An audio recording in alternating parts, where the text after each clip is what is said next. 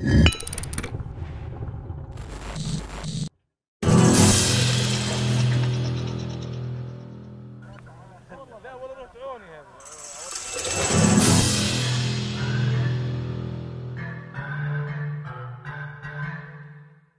in Umm Al Khair, uh, we face a demolition, it's an annual demolition.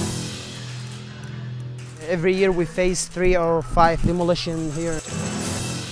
And uh, all of the houses in my community got a demolition orders and we are waiting and every day uh, in the morning we are uh, just check uh, the near uh, uh, roads to see if the bulldozers come to demolish or not. Yes, we got nine time demolition in my village. Every demolition six to seven houses and this makes the life uh, horrible and we are suffer from this a lot. Uh, and we hope one day to, to arrive to without to, to live without a demolition to live uh, in peace in my village.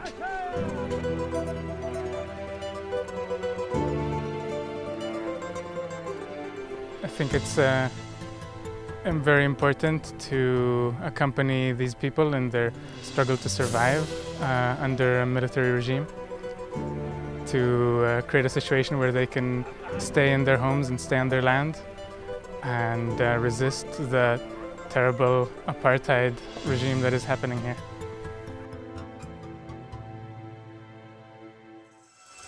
So today we are invited to Khair by the residents here on International Human Rights Day. It's a day that's celebrated all over the world as a celebration of human dignity and the rights of all people to housing, infrastructure, and education. Here in Umm and throughout the occupied territories, the human rights of residents are not respected. They've been denied the right to housing, education, um, and other essential resources. And we're here working with them um, to cultivate the land, um, which so often they can't without interference from settlers and from the military. Even just over the past four months, there's been three demolitions here, um, and the Israeli army is basically trying, and not really even slowly, quite quickly, are trying to push out the Palestinians of Area C in the South Hebron Hills, which is where Umm Al Khair is um, situated. If you were to look over the mountain right now, Umm Al Khair is under um, a, a settlement called Carmel, um, and you can really feel how if you're living in the South Hebron Hills as a Palestinian, you are constantly surrounded by the Israeli occupation. Um, and as an Israeli, and also as a Jewish person, uh, and as a human being, it's important for me to come and stand with the residents of Umm Al Khair and say, I don't believe in this, I don't stand for this, and I will fight for you. The presence of Jewish and international activists in Umm Al Khair is, shouldn't be necessary.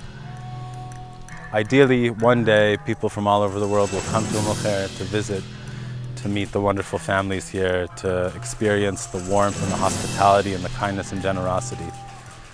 Uh, but that's not the case today. Today, we need to have Jewish and international activists on the ground in Umm Al Khair to support uh, the work that family members here do to defend themselves, to advocate for themselves. The people of Umm Al Khair have lived in this spot since the 50s and are still denied access to the most basic facilities, the most basic services and amenities. The people of Carmel, since the day they set foot here, were taken care of because the government sees them as human beings worthy of care.